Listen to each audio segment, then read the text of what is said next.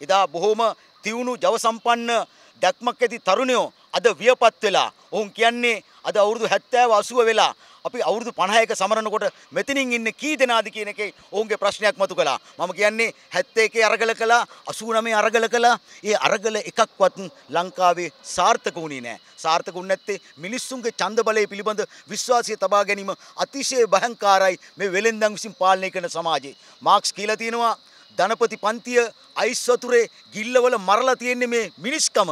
ඒක නිසා මේ මිනිස්කමට පණ දෙන්න බෑ. ඒක නිසා තමයි අද මේ රට නන්නත්තර වෙලා තියෙන්නේ. ඒකට ප්‍රධාන වශයෙන් දේශපාලඥයෝ වගේම ජනතාවත් වග කියන්න ඕන. ජනතාවත් එදා වේලා කන්න මේ තුප්පයි පාදර දේශපාලඥයන්ට ඡන්දෙ දීලා තිනවා. අද පාර්ලිමේන්තුව එදා විජේවීර සහෝදරයා කිව්වේ පාර්ලිමේන්තුව කියන්නේ ඌරු කොටුවක් කියලා. එදා කිව්වේ ඒකයි ඔහු මිනිසුන්ගේ ඡන්ද බලය පිළිබඳ විශ්වාසයක් තබා ගන්න නැතුව අරගලේ දියත් කරේ. ඒක ඇත්ත කියලා අපිට තේරෙනවා. නමුත් අරගලෙන් තොර ජයග්‍රහණයක් නෑ කියන තමයි අපි කියන්නේ. නමුත් අපිට අරගල කරන්න බෑ. දැන් බොහොම බුද්ධ්‍යංශ දියුණුයි. බුද්ධ්‍යංශ පුංචි සාකච්ඡාවක් පැවැත්වුවොත් අපි අරන් ගිහිල්ලා මරනවා. මමත් විශ්වාස කරන්නේ මෙම ඡන්ද බලය පිළිබඳ මට විශ්වාසයක් තබා ගන්න මට බෑ කොහොමත්.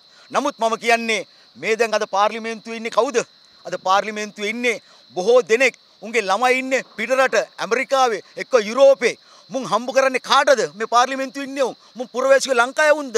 බහුතරයක් දෙන හම්බ කරන්නේ ඒ පිටරටට. හරියට අපි මැද පෙරදිග ගිහිල්ලා ඩුබායි ගිහිල්ලා අපේ අපේ ආදරණීය අම්මලා තාත්තලා අක්කලා නංගිලා මල්ලිලා දහඩිය වපුරලා එනවා. ශ්‍රමය අරගෙන ලංකාවේ ප්‍රධාන ආදායම තමයි මේ අපි ගේන්නේ මේ ඩුබායි වල කමුරුලා ගෙන සල්ලි 16 වෙලා අපි රපයන්නේ ලෝකෙට 16ම ලෝකෙට මුළු ලෝකෙටම 16 සපේන රට අපි අපිට ලැජ්ජයි ඒකට කියන්න. එහෙම හම්බ කරපු රටක් අපි.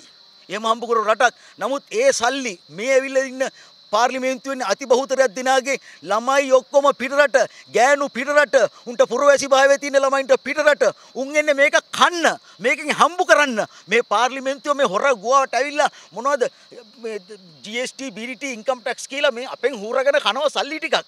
මේ සල්ලි ටික හූරගෙන කාලා උන් මේ පාර්ලිමේන්තුව කියලා අයවැලේ එකනේ වෙන් කරන අමාත්‍යාංශ වලට. ඒ අමාත්‍යාංශ වලට වෙන් කළා කෝටි ගණන් අරගෙන මේක හොරගම් කරන එක තමයි මුන්ගේ ප්‍රධාන දේ. ඔය හොරගම් කරන්නේ මොකටද? උන්ගේ ළමයි පිටරට. ඒ ළමයි පිටරට ඉඳලා මෙහෙට ඇවිල්ලා උන්ට ඡන්දෙ ඉල්ලනවා. අර ගමේ පෝස්ටර් එකක් ගහපු එකාට නන්නත්තාරයි. උන් නන්නත්තාරයි. මේ බඩපපු කැවුතු හූරලා ගන්න ටැක්ස් ටික මුන් ගෙනියන්නේ පිටරටට.